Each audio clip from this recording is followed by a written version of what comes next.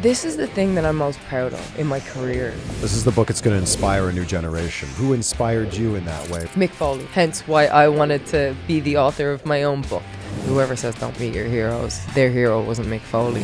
What was difficult to put on paper? Anything with WWE, I thought needed to be handled with great care. In your book, you wrote, I'm not a dreamer. Oh, I'm such a dreamer. But I thought there was flaw in being a dreamer. Punching Dom square in the face, was that intentional? Oh, yeah, 100%. One of my proudest moments. There's got to be some sort of revenge here for that. I think he felt that punch and probably won't. Congratulations on this. Thank you. Best selling author, New York Times best selling author. That's me. That's you. Yeah. Where does this rank on all of the great achievements you've had in your career? This is the thing that I'm most proud of um, in my career. Like, because it's just, it's, one, I think people expect me to be a good wrestler. You know, I should be. That's my job.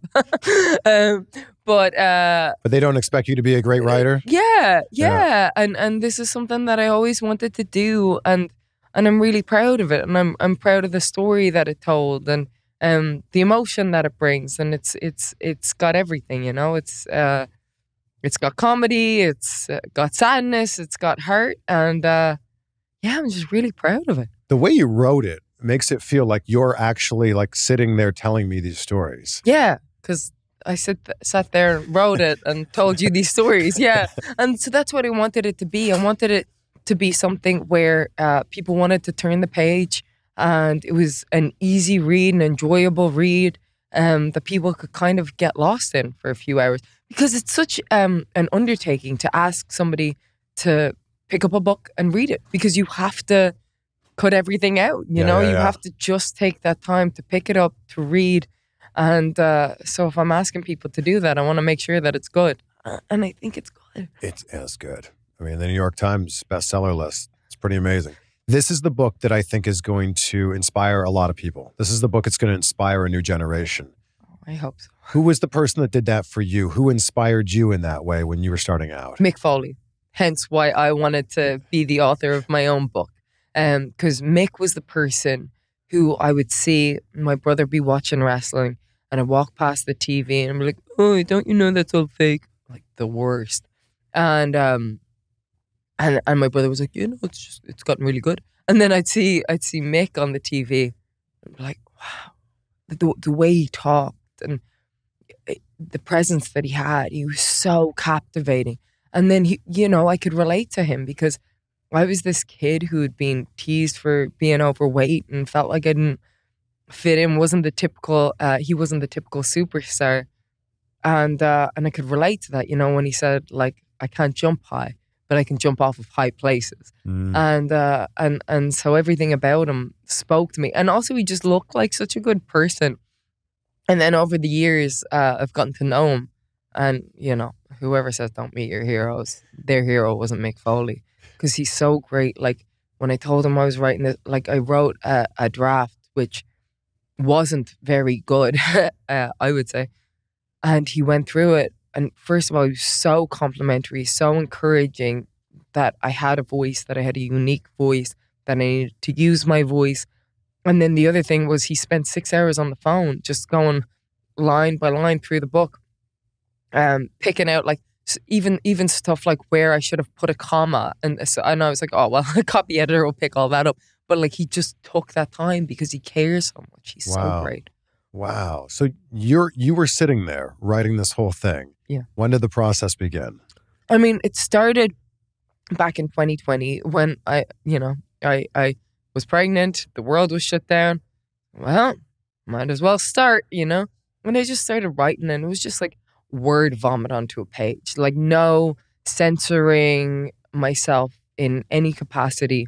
Just like let me get words down onto the page, and then I'd reach a certain point, and I'd kind of, uh, I get stuck, and then I'd leave it for months on end, and then I'd come back and I'd start again from the beginning, and I would do this process over and over again until like 2022.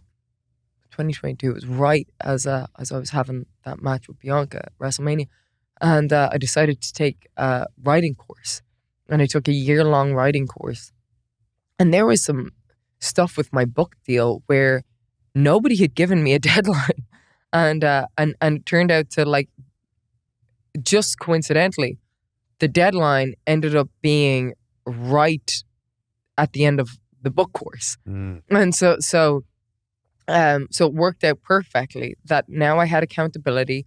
I could do it. And so so within that year I ended up handing in a draft. And then I had problems with editors where like my one editor just disappeared and then there was another editor and we didn't click so much. And then I got this other editor, Rebecca Strobel, and she was like amazing. She was amazing. So I sent her off the draft. And then she came back with a bunch of questions. And then I read it for the first time, like read it back in one thing. And I was like, oh, I hate this. I hate this. And then I scrapped the whole thing and rewrote it in like about five weeks. Wow. Yeah. So that's a very long story about how, how long the process took. But like, you know, kind of st- it took within three years, but also took five weeks. What was difficult to write? Like, because there's a very carthar, carth- I can't even say the word. Cathartic. Cathartic. Thank you. Wow. Uh, it's it's quite the process, right? Saying all Yeah. these things, getting it out. What was difficult to put on paper? Um, uh, anything with WWE, I, I thought um, needed to be handled with great care because I don't think you can absent-mindedly um, write about people that are in the public eye. Um, you have to have a good representation of them and an accurate representation of them. Um, and so I wanted to detail everything very honestly, very factually, um, without without letting my my bias come into play. Like, when was I the asshole? Like, wh- like, like, like, Mm. I need to own that. Like, let me try and see the other person's point of view because these people are in the public eye, and and and you want to represent them in the way that is most honestly. And and here's another thing that Mick Foley told me was uh, never use a book to get back at anybody Mm. like never use it as a revenge tool you know? Like i'm gonna i'm gonna show them they don't have the chance to defend themselves. And and i took that as i'm gonna be the hero of my own story right? If you're reading this you're likely i'm i'm likely painting myself as the hero of my story. It's not fair for me to paint paint anybody as a villain especially somebody who who doesn't have the chance to respond. So i really wanted to handle all of that stuff with care Yeah, there's something that seems very permanent about putting it in a book. yeah Like Becky said this thing. Yeah, and look, like headlines will always take stuff out of context, no matter what you say. Yeah. Um, but I at least want to contextualize it in in the book because it's one thing as well if you say something in an interview, but if it's eh, you know because sometimes you just say stuff and you're like ah well I'll think about it later. I'm like I said it like that, but actually what I meant was this. Mm. Um, but when you when you when you write it in a book, the understanding is that you went in with more care. You examined it further, and so uh, and and so that was important to me. But the other thing about humans and life is that we're not obligated to be the same person that we were yesterday Yeah. or even a few minutes ago. Man, we're just changing constantly. Our opinions are changing constantly. We're constantly evolving, and we should be, you know. And so, you know, that was me when I was writing it in 2023. You know, who am I in 2024? Yeah. Who are you? New York Times bestseller. Were there moments where you would write something about Seth and, and then be like, ah, like, I can't wait for you to see this thing I wrote? that was my favorite part, like writing about him, just because like I loved the little blossoming romance, you know, like like I'd go back and be like, oh my gosh, this was so cute when we started together, and um, just all the little threads with him before anything even happened, and uh, yeah, it's, he's he's my favorite topic, you know, him and my daughter. So What was that your part was easy. This episode is brought to you by Mando, and let's call a spade a spade. I think we all know somebody who could use a little help with their body odor, and perhaps it's you, and nobody's told you yet. Mando whole body deodorant doesn't just cover up odor after the fact with heavy fragrances like you might be used to. It actually stops odor at the source by blocking the bacteria on your skin from eating your sweat. That's the actual cause of BO. This means that Mando is clinically proven to control odor for up to 72 hours. Yeah, three days. That's like a whole WrestleMania weekend plus the raw after mania. Just apply Mando and it stops odor anywhere that you have it and wish that you didn't. So we're talking pits, privates, feet, really anywhere. And Mando's starter pack is perfect for new customers. It comes with a solid stick deodorant, cream tube deodorant, two free products of your choice like mini body wash and deodorant wipes, and free shipping. You'll get $5 off a starter pack when you use the code CVV at shopmando.com. That's the equivalent of getting 40% off your starter pack. So that's shopmando.com. The promo code is CVV so you can stop smelling. What was your first official date with Seth? Uh, ooh, I don't know what counts as that. Um, um, um, uh, mm, maybe it was uh, Bring Me the Horizon in in the Forum in LA. I think that was our first It's a great band. kind of official uh, date because uh, it was it was right before the Royal Rumble, and he like showed me this song, um, "Follow Ama," "Follow Ama," Mo, "Follow Ama," um, by Bring Me the Horizon. I'd never heard of them before, and like I, I love this song, and allegedly it reminded him of me. And uh, but uh, and he was like, "Look at how different they are," and he showed me their other stuff. And so then we got to go uh, see them live And pretty soon after, and that was cool. and look at you guys now. And look at us now, Look at you now. married with a little three-year-old. That's amazing. Congrats. Thank you. I, I'm a girl dad. You're a girl mom. It's the best, man. So really is. sassy and fun. How old is yours now? 10 months. Yeah. Little personality coming out. She's not saying real words yet. No, But some real personality coming out. yeah. How sassy is Roux? Oh my gosh, the sassiest. She's just so. And like the other day, she she threw a few f bombs. Wha- you know, where's she'd, she like, learning that from the well, rock? You know, yeah, exactly.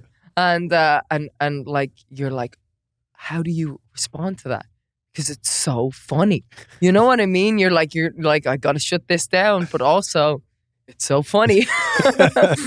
you know, so I think you just you just gotta ignore it. But she man, she's just got so much personality.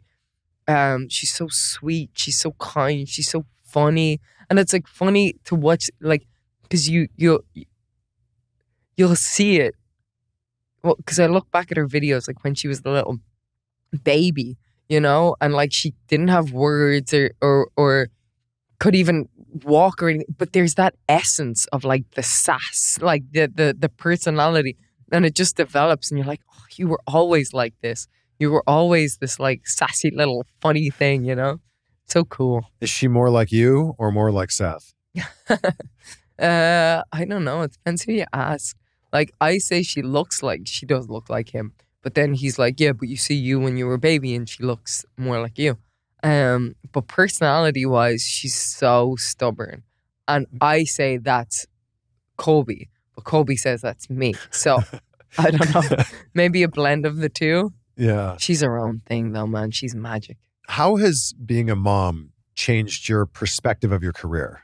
Um, Because I feel like you've you've got part of you goes, I want to be there for every single moment that my daughter's doing anything. yeah. At the same time, you go, I want to be a great role model and example for my daughter, and I want to just keep kicking ass. Yeah. That. That It's one. it's complicated, right? yeah. Like because there's there's both. It's it's you just want to spend time with your kid, you know, like I've I've gone she's going, Don't leave me, mama, don't leave me and especially, you know, the last week with the book tour and then this week is crazy because it's WrestleMania and then we've got a lot of uh tours coming up. And and you know, we were in Perth and so we had to leave her and, and stuff like that is so hard. It's so hard. And like I have to remind myself that my mom was also a flight attendant. She was gone, but I don't remember her being gone. I just remember her being present. I remember her always making cakes for the bake sale. I remember her, you know, I just I remember snuggling with I I don't remember the absence of her. I just remember the presence of her. Mm. And so I need to remember that whenever I'm feeling but also sorry. Um it's I I feel so lucky that I still get a part of me that was me before I became a mother. You know, because you change so much and and you become a new person, your priorities switch and and that's an adjustment for a lot of women. I think maybe every woman because you you now have a new identity And sometimes you lose that person that you were before, and you almost have to, in a way. And I've talked to other people, of that, like you have to grieve the person that you were before, and it's a, an amazing thing, and it's a wonderful thing to Yeah. be a, a mother.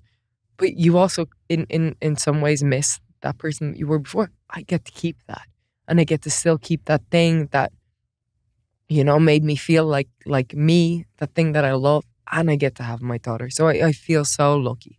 She made her debut. She made her WWE debut, She did. being carried into the ring Yeah. like Seth. yeah. Yeah. How much thought went into like, okay, are we are we ready for her to, you know, be on TV for everybody? Uh, yeah, um, a little bit. She's, you know, I think uh, it was it was Colby had the idea, and then we're like, "Roux, do you want to go to work with with Dada?" And she was like, "Yeah." And then I was like, "Oh my gosh, maybe because she loves like getting her makeup done and so she loves all that." Stuff. I was like, "Do you want to get you? Do you want to get your your hair done?" And she wanted to look like Karen from Frosty the Snowman because she loves Karen from Frosty the Snowman. She like got her hair done in a little thing, like they tried to give her bangs. And by the time she was on TV, it was all over the place, but it was so cute. And she'd like gotten a little makeup brush and put like pink eyeshadow on herself. And uh yeah, but then but then you know, he's like, Okay, Roux, we're we're gonna go in. She goes, Are people gonna hurt me? And I was like, Oh no, baby, no because you know she she she she sees us with boo boos on, ourselves all the time. You know, so she goes in and goes, "Is somebody gonna hurt me?" And we're like, "No, we'll never let anybody hurt you." So trying to explain that not all work involves getting hurt and banged up, and not all friends are pushing each other and punching each other. Um, it's kind of a hard thing to explain to a three-year-old. You know, when she sees Mama and Dada are working, and then we're just getting beat up. I was surprised to read in your book, you wrote, I'm not a dreamer. I don't think you can get to where you're at right now without dreaming in the biggest way. Oh, I'm such a dreamer. I'm such a dreamer. Yeah, but I like I I thought there was um uh flaw in in being a dreamer because my dad was a dreamer. And um and I watched him for many years um struggle to to find his feet um and uh and and be unemployed and you know um my mom found that that quite hard um in terms of oftentimes she'd be the the the, the biggest breadwinner in the house and it's kind of one of those things that I didn't appreciate until it was too late like um but certainly in my teen years I kind of looked at it as a bad thing.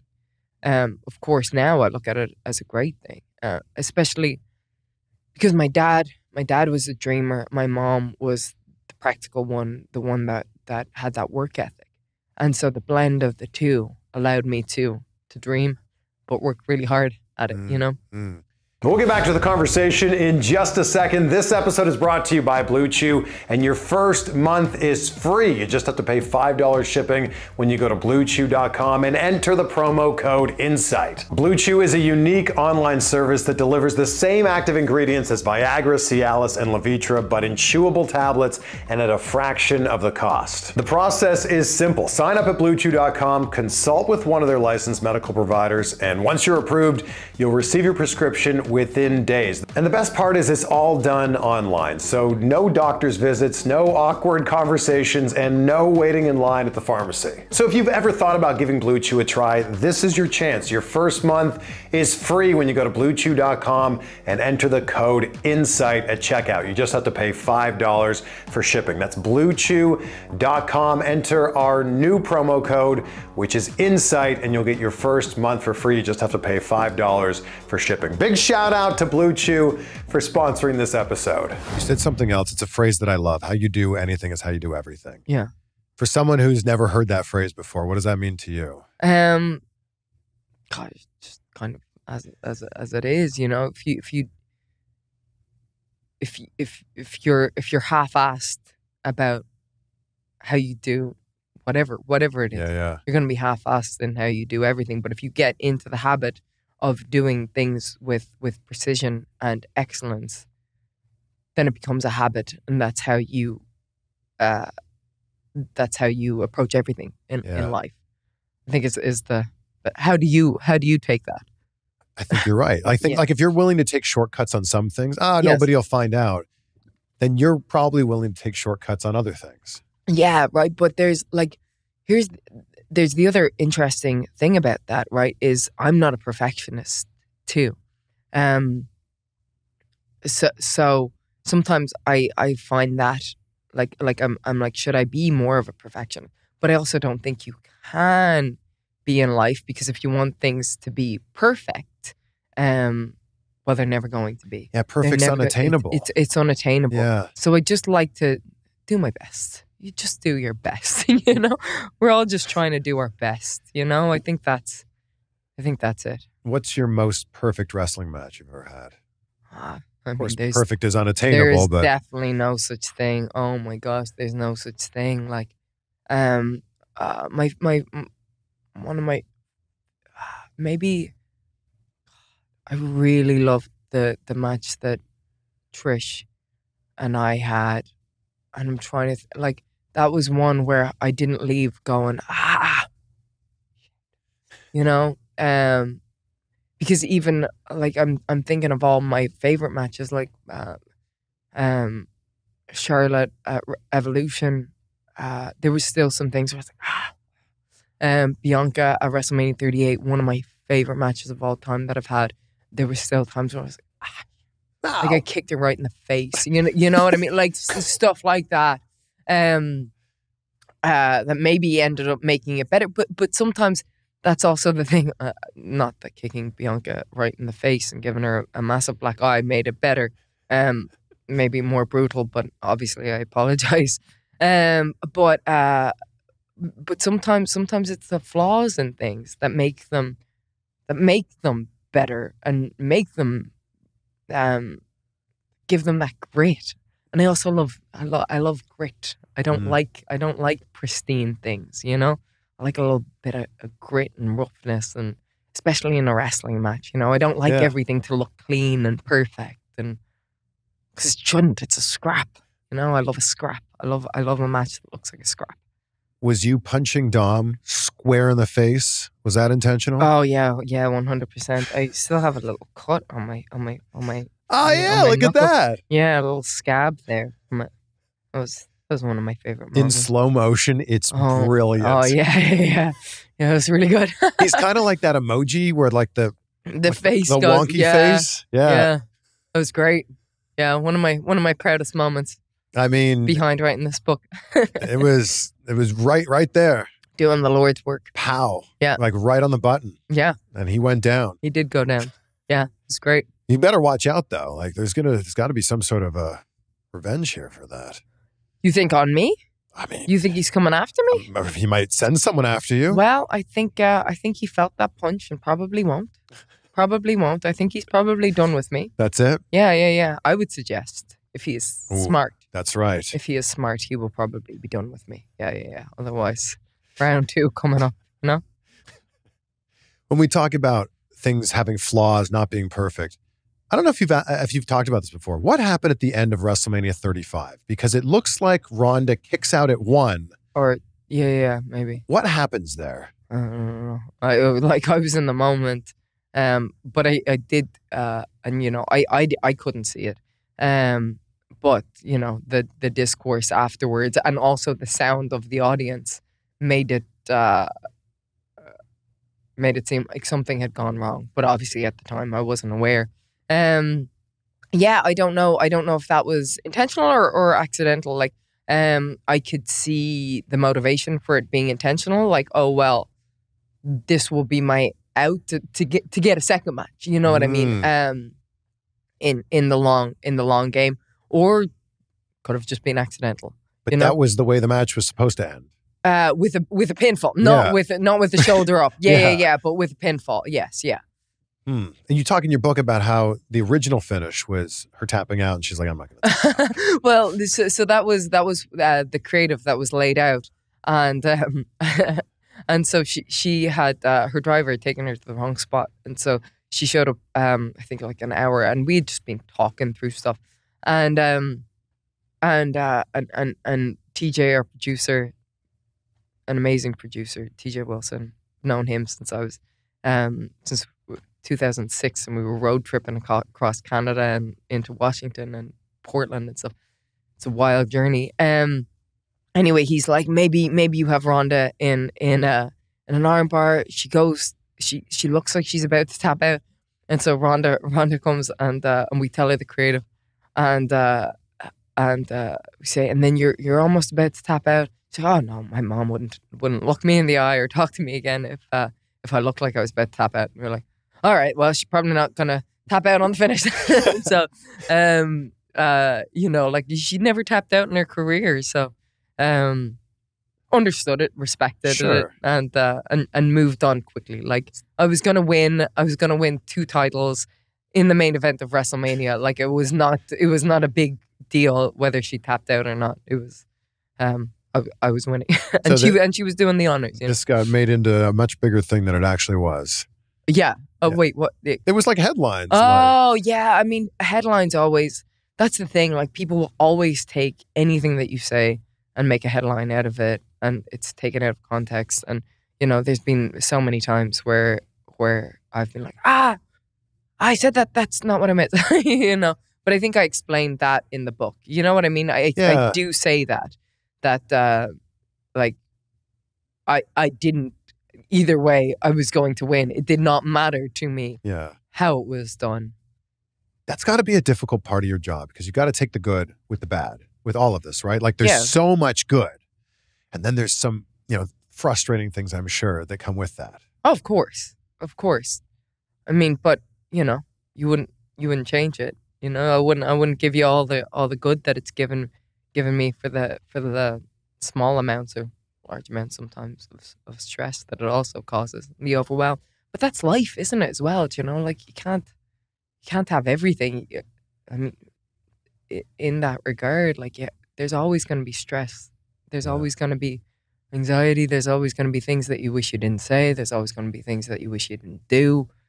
That's life. We're not perfect. We just got to move on and do our best, you know? And then sometimes you get happy accidents like getting punched in the face, Yeah. your face being bloody, and Yeah. you become the man. Yeah, exactly. You know, and like so stuff like that. N- Nia, like I said, I text her, "It's you. So I'm so sorry. You know, fe- felt, and I talk about this in the book, felt horrible. Anybody who hurts somebody feels horrible. But if that didn't happen, then I wouldn't have that cool image. So, you know, thank you, Nia. First time anybody, first and last time anybody's going to say that. When you went to the back after the infamous man moment, Yeah. your face is bloody, you're in the crowd. wh- What was the conversation like backstage? Uh, I had no clue where I was. I had no clue where I was. I was like, where, where are we? How did I get here? Like I was able to run on autopilot all the way up to that, and then, and then I just, I was, it was just black. I had no clue. Remember Stephanie McMahon looking after me in the trainer's room, like being very kind, and I just remember the coldness in Kansas that night, and. uh yeah, so I don't, I don't know what the conversations were. The conversations were like, like, did I break my neck? Like, I remember my neck just killing me. I, I had no idea what had happened to me. When did you start to piece it together? Uh, it wasn't until I was in the hospital and Natty, Bayley, and Sasha came to visit me. And like, I, was like lying there and they came in and, and they were like, "Do you know what happened? And I was like, no, but I remember you guys had a really good match. You had a really good match right before. And, and then I started piecing together like spots from their match and telling them their, their own match back. And then I was like, and then we came, and then it started to kind of come together a bit better. How does the girl who had that WWE debut, the one that you described to me as being worse than Shockmaster, Yeah, yeah, yeah. how does that girl become the woman that's sitting in front of me right now? Oh God, I don't know. um, uh, worse than Shockmaster? Come uh, on. yeah. He didn't. So here's the difference. He didn't intend to fall over. I intended to do that. It's quite the dance. You know what I mean? So I think that makes it worse. You know, I think, I think undoubtedly that makes it worse. Um, You probably thought it was great at the time. uh, I was just trying to get on TV, and at the time NXT was so gimmicky, and I had no shame. Um, but look, like like I said, we are not obligated to be the person that we are that we were yesterday. Can always change. I love that. always evolve. Um, and and and we have to continue to do that. And I think I talk about it a lot in the book. Like I beat myself up constantly over everything. It's probably a bad thing. It's, it's a bad thing, right? But it's also a good thing because because of that, I'm always trying to evolve. I'm always trying to look at how I can be better, how I can do better, how I can uh, change, and and and and I I try to be as self aware as possible. Don't know that I always am, but at least try to be and and try to be as self correcting as as possible. I try not to, um. I try not to. I'm sure I do it often, but I try not to put the heat on other people Yeah. for for like uh like how how can I how can what can I do to change so that I can be better so that I can be undeniable so that they can't overlook me anymore like and and um approach that with as much gentleness as possible and I'm not gentle on myself though at all. I tend to be very hard on myself. Wrestling is like in this it's it's cool again. Something's happening right now with wrestling where it's it just feels different. What do you think it is? Um, I think it is the leadership that we have right now, and that things are thought out. Because it was no secret that before the show would be rewritten as it was going on. I talk about it in the book. It wasn't unheard of for them to have a show on paper, and we'd show up, and Vince would tear it up, and and we'd start from scratch, and then 6 p.m. your creative changes and then you're like oh okay well what are we doing and it didn't always play off of what we had done last week and now um, with hunter in charge he has a vision he sees it through and uh, and that's what you need for a tv show you know what i mean Yeah. like you don't start filming succession episode one without knowing where you're going in episode five Yeah. you know and and so um, I think that's been been a huge change. Um, and then you know the the reins are off a little bit in in in in terms of of letting people have a bit more freedom to try things out, try, fail, um, see if things work, see if they don't, um, and have a conversation there. I think that just makes a world of a difference. yeah it feels like it also how good is succession Oh, so great, good just great. oh my gosh just great. But you know, like you, it's any TV show. You can't, um, you, you you can't just be like, okay, Tom is going to, yeah, we love tom yeah, yeah, yeah. you, you know what I mean? Like, um, Tom is going to blow up the building. Wait, what happens next week? Oh, Uh, we'll figure it we'll out, Figure yeah. it out. You know what I mean? These characters need to know where they're going. They need to have an arc yeah and and if when you know where you're going then okay well okay we're here and i know that i'm going to there. How do we get there the best way possible? Yeah. makes a makes a world of a difference. Since seth has the wrestling school Mhm. which seth rollins moves have you taken? I haven't taken any.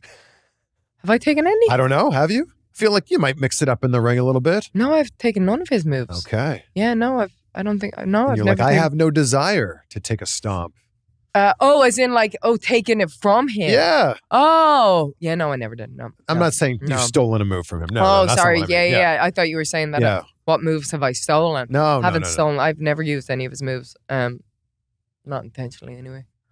Don't think. Um, now But you've never been in the ring he's like i gotta be a- try this thing Uh, come on over here no, no. Huh? He has students for that. he has students for that, and I'm not taking books on my off days. I'm not doing the job for him. No, No. um, no, no, no. I'm just kidding. Um, we've wrestled around, and like when I was coming back from, um, from from uh, from having Roux, like we did a lot, and I'm just trying to think if if, if I took any of his signature stuff. I don't think I did. I think it, people just have this great image of like you getting a stomp or something. Yeah, yeah, no, I don't think so. a- He probably went for one, and I probably ducked it and got him in an armbar a or something like that. Yeah, yeah, yeah, yeah, yeah. Congrats on this. Congrats on everything. It's such a pleasure to be able to sit down in person and be able to do this with Oh you. Oh yeah, yeah, yeah. I'm not. I'm not a Zoom person. I don't I'm like not it. either. I just, you know, I feel like there's this, um, there's the energy that you you don't have when you're when you're on a Zoom because there's always that like am am am, am I about to talk? But you just read that in in person. You know what I mean? People are always talking over each other, and it's like, are they finished? And now, I, yeah, I just ah, You know what else it is? You're looking at a two dimensional representation oh, that's of true. a person. too. You're not even looking at the person. Yeah. Let me ask you this: Do you meet someone? Like, are you, do you feel like you've actually met someone if you've only met them on Zoom? No, no, agree. no, no, no, I no. agree. Yeah, and it's easy to to forget. Well, especially when you know we're in this world and we're meeting people constantly. Yeah. But like, I think, uh, yeah, it becomes harder to to remember those interactions. And when you see them in person, it's always like it's so good to finally meet. you. yes, yes, and then like, how much time do you spend like looking at yourself? You're like, oh god, It's so Yeah, true. You know what I mean? It's so And true. You're like, oh, I feel like such a vain asshole. Okay, yeah, yeah, yeah. but I'm, I'm glad we did this one in person. Me too. I end every interview with gratitude because it's such a big part of my life. I wake up every day, I say out loud three things I'm grateful for, and we do it before we go to bed. So, what are three things in your life you're Uh, grateful for? my daughter, my husband, uh, and being a New York Times bestseller. Yeah. Thank, Amazing. thank you so much for having Thank me. you. You're awesome.